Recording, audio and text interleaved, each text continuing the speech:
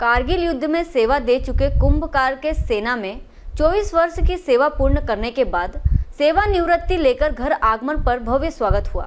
जगह जगह गाँव में स्वागत बैनर लगाए गए।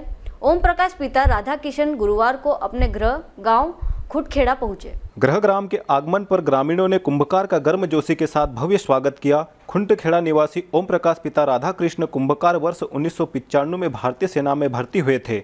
उनके बड़े भाई कैलाश चंद्र कुंभकार भी बीएसएफ में सेवा दे रहे हैं। वर्तमान में ओम प्रकाश कुंभकार सेवा में आर्मी सप्लायर कोर में नायक के पद पर तैनात थे। अप्रैल माह में उन्होंने सेवा में चौबीस वर्ष सेवा पूर्ण करने पर सेवानिवृत्ति ले ली है।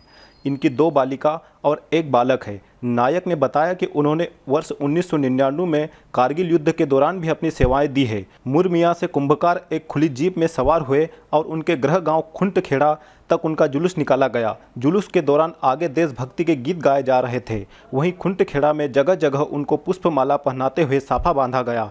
एवं तिलक लगाकर स्वागत किया गया। अपने घर पहुंचकर कुंभकार द्वारा अपने माता पिता व बड़े भाई भादर सिंह कुंभकार से आशीर्वाद प्राप्त किए गए। वहीं परिवारजनों व इष्ट मित्रों, देवास से अनिल उपाध्याय की रिपोर्ट।